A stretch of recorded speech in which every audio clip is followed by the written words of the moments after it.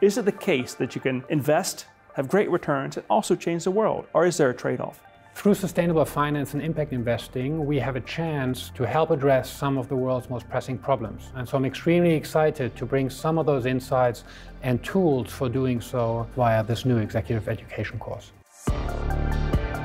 This is cutting edge material. There's no textbook for these ideas. Instead, what we do in this course is synthesize uh, the ideas from the latest research. Participants on the course will learn how to evaluate the return, risk, and impact of sustainable investments. They'll also learn how to trade off profits versus purpose when choosing sustainable projects. Investors who want to generate impact, who want to change what companies do, they will have to think about the trade off between how much of a sacrifice they are potentially willing to make on their financial returns in order to achieve other goals, such as reductions in carbon emissions. One particular area that we'll study is understanding ESG metrics. And so we'll discuss what they are, we'll learn how they're designed, and most importantly, we'll learn how to design them better.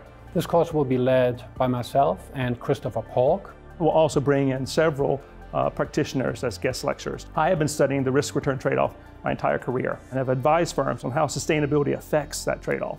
I will draw on my own policy experience at the European central banks to highlight some of the key issues that arise in this area. This course is for a wide range of people. Those who are in financial services who are already working on sustainability, who want to up their game a venture capitalist who's thinking about how to allocate capital across different potential investments to generate impact. It could be impact investors who are trying to influence what companies do via their investments, or it could just be people managing portfolios who are affected by risks resulting, say, from climate change. It's one of the greatest changes to the financial services industry uh, in the last two or three decades. It's hopefully going to help us tackle one of the greatest challenges uh, in a generation, and that is the issue of climate change. And so it's great to be on the vanguard of such a change that's going to continue for years to come.